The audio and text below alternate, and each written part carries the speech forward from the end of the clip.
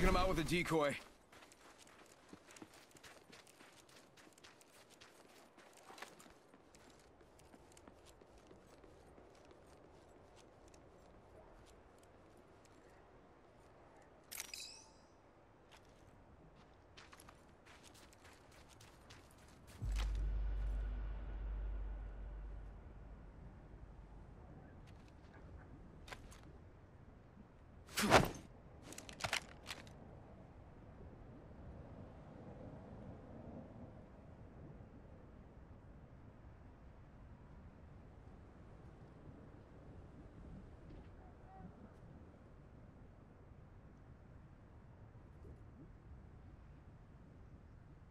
Heads up, got one here.